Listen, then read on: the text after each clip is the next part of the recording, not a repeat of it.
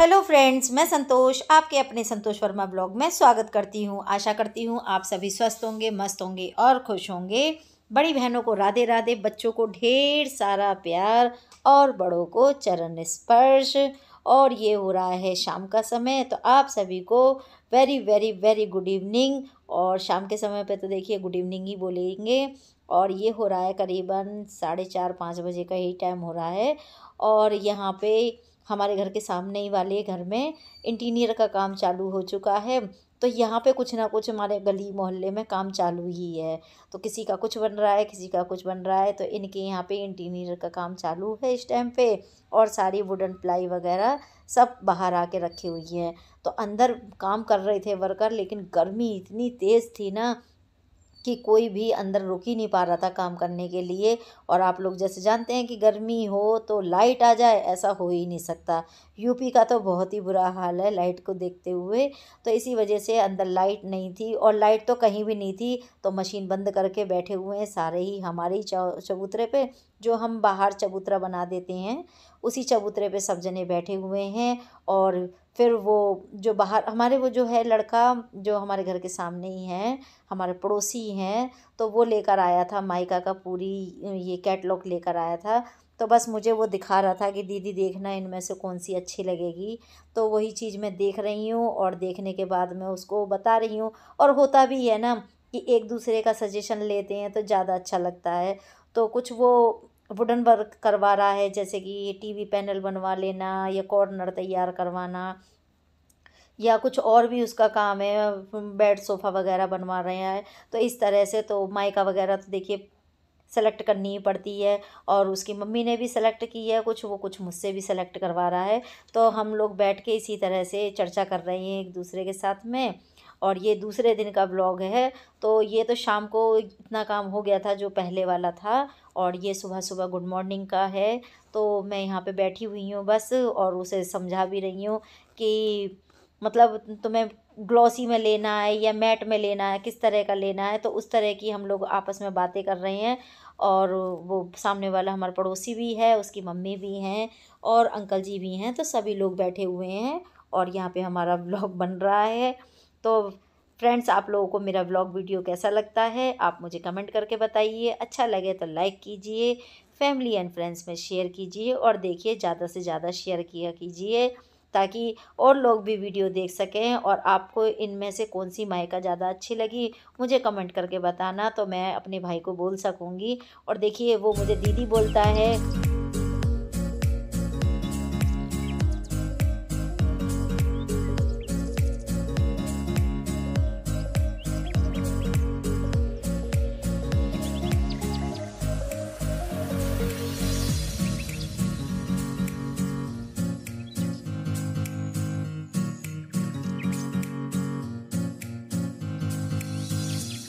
तो इस नाते से वो मेरे से अपनी बात शेयर भी कर लेता है और वो इसीलिए मेरे को दिखा भी रहा था कि दीदी कौन सी मायका मुझे लगवानी चाहिए, किस जगह पे कौन सी चीज़ लगवानी चाहिए और होना भी चाहिए। देखिए, अपने से कोई बड़ा है तो एक दूसरे की समझदारी ले, से बात कर लेनी चाहिए, राय भी ले लेनी चाहिए।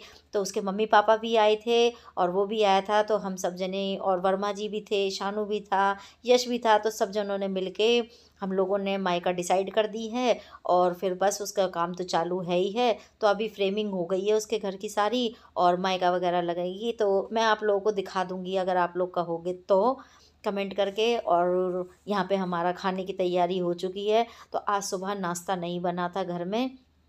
और उसका कारण ये हो गया था कि सब जने आ गए थे ना तो चार बंदे तो हम ही हैं घर के, तीन बंदे वो भी आ गए तो सात बंदे हो गए थे घर में, और फिर मैं सबके लिए चाय वगैरह, नाश्ते वगैरह में लग गई तो यूँ करके हमारा नाश्ता नहीं हो पाया। अब आप लोग जानते ही हैं कि चाय नाश्ता सुबह के समय क्या है तो सबके लिए मैंने चाय बनाई थी, बिस्किट व नमकीन वगैरह रख दिए थे तो इस तरह से नाश्ता हुआ था, और आज मैंने पराठे वगैरह कुछ नहीं बनाए, ना और कोई भारी नाश्ता हुआ, और बस सब लोगों ने चाय वगैरह ही पी है। और शानू यश ने तो आज चाय भी नहीं पी, ना उनके लिए मैं लस्सी बना पाई, ना कुछ बना पाई और अब बच्चों के लिए डायरेक्ट मैं खाना सेक दे रही हूँ। तो सभी के लिए मैंने खाना बना दिया है, बस मैं अपनी ही रोटियाँ सीख रही थी और मेरे भी रोटी सीख गई हैं तो मैं अब अब खाना खाऊँगी घर, अंदर जाके और सच में किचन में इतनी गर्मी हो रही है ना कि अब बर्दाश्त से बाहर हो जाती है। इतनी उमस हो रही है कि काम करने का बिल्कुल मन नहीं करता है, मेरा तो बिल्कुल भी जिसे कहते हैं और पसीने ना सिर से लेके रेंगते रेंगते रेंगते रेंगते एड़ी तक आ जाते हैं। इतना बुरा हाल हो रहा है और मेरे किचन में ना बहुत भवका हो जाता है दोपहर के टाइम पे, क्योंकि बाहर की किचन है ना, जितनी भी बाहर की लू, गर्मी जो आती है, वो सारी कम, किचन के अंदर आती है। तो दोपहर के टाइम पे तो बिल्कुल मेरे पे खाना नहीं बनाया जाता, लेकिन क्या करूँ, बनाना तो पड़ेगा ही ना।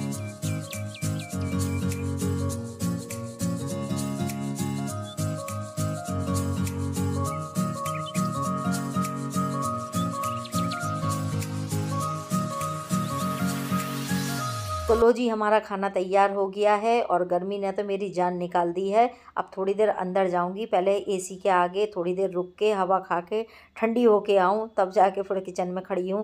और इस तरह से मैं रहती हूँ ना कि बार बार मैं एसी के आगे जाती हूँ, फिर किचन में आ जाती हूँ तो ना सर्दी गर्मी भी हो जाती है और फिर मुझे कोल्ड हो जाता है तो ये हालत हो जाती है मेरी। और सच में मुझे गर्मी भी बहुत ज़्यादा लगती है और सर्दी हो तो सर्दी भी बहुत ज़्यादा लगती है। पता नहीं मेरा क्या टेम्परेचर है, मुझे समझ ही नहीं आता। और ये गर्मी तो सभी राज्यों में पड़ रही होगी और कहाँ कहाँ बरसात हो रही है, ये बताना ज़रूर मुझे। यहाँ तो बिल्कुल बरसात नहीं हो रही। उसी दिन बरसात हुई थी जब मैंने आप लोगों के साथ में शेयर की थी। उस दिन के बाद में ऐसी नज़र लगी है ना कि बस अभी तक बारिश नहीं हो रही है और इतनी गर्मी भयंकर पड़ रही है ना कि बिल्कुल भी अच्छा नहीं लगता। बाहर निकलने का तो बिल्कुल भी मन नहीं कर रहा है मेरा। नहीं तो मैं आप लोगों के साथ में कुछ ना कुछ शेयर करती रहती हूँ बाहर का भी, लेकिन अब तो मन ही नहीं करता बिल्कुल बाहर निकलने का। और मैंने देखिए खाने में भी कुछ ज़्यादा नहीं बनाया, सिर्फ़ दाल और रोटी बनाई है और कुछ नहीं बनाया।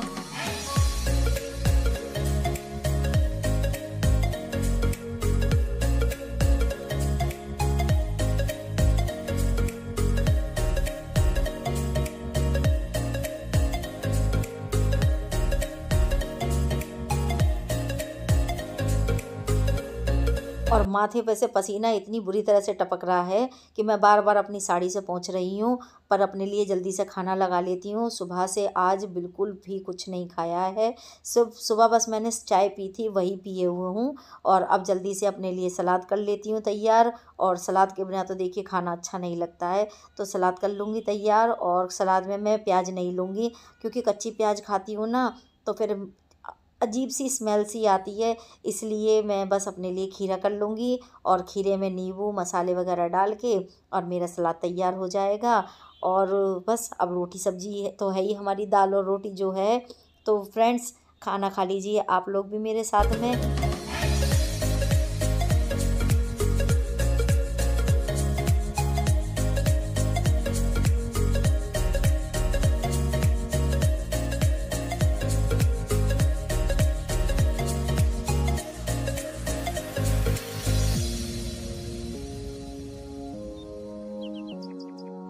मुझे वो किचन ज़्यादा अच्छी लगती है और वो पुराने दिन भी याद आते हैं जब हम आँगन में खाना बनाया करते थे। आँगन में हमारे चूल्हा बना हुआ था, वहीं पे एक अंगीठी भी रखी रहती थी। तो पापा कोला लेके आते थे ना शाम को, तब हम कोले से लगा के और अंगीठी से भी हम खाना बनाते थे। और हमारे घर तो भैंस भी थी तो हम चूल्हे पर भी रोटी बना लेते थे। और सच में वहाँ इतनी गर्मी भी नहीं लगती थी जितनी यहाँ किचनों में गर्मी लगती है। बहुत, क्योंकि वहाँ ना बहुत हवा आती थी ठंडी ठंडी ठंडी ठंडी। मतलब ठंडी ना कहो तो गर्म भी नहीं इतनी आती थी और जो तपन थी वो सारी हवा के साथ में निकल जाती थी और सुबह तो जल्दी जल्दी मम्मी खाना पहले ही बना लेती थी। तो सुबह खाना बनाने से ये हो जाता था कि खाना ठंडा भी मिल जाता था हम लोगों को और अब गरम गरम के चक्कर में ना हम लोग गरम होने लग गए हैं और हालत इतनी ख़राब हो जाती है ना किचन में खड़े खड़े कि ऐसा लगता है जैसे उबल गए हों। और मुझे तो पसीना भी इतना आता है ना कि मेरी तो वैसे भी हालत इतनी ख़राब हो जाती है तो सच में मम्मी वाले दिन बड़े याद आते हैं मुझे कि जब हमारी ओपन किचन रहती थी तो कैसे मज़े से हम लोग सब भाई बहन इकट्ठे होकर खाना खाते थे और गाँव में अब भी ऐसा होता होगा ना।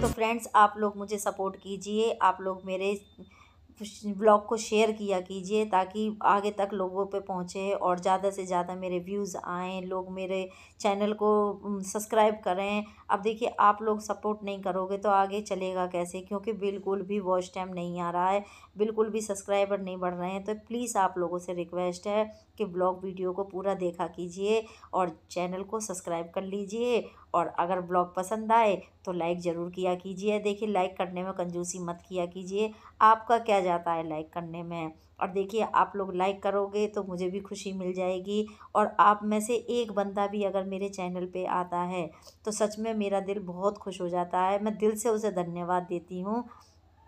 और देखिए गर्मी कितनी पड़ रही है। पसीना पहुँच पहुँच के मेरा बुरा हाल हो रहा है गर्मी के कारण। लेकिन फिर भी देखिए मैं व्लॉग बनाती हूँ कंटिन्यू मैं व्लॉग बना रही हूँ। तो फ्रेंड्स आप लोगों से रिक्वेस्ट है वीडियो को पूरा देखा कीजिए। चैनल को सब्सक्राइब कर लीजिए और देखिए जितना हो सके उतना शेयर ज़रूर किया कीजिए।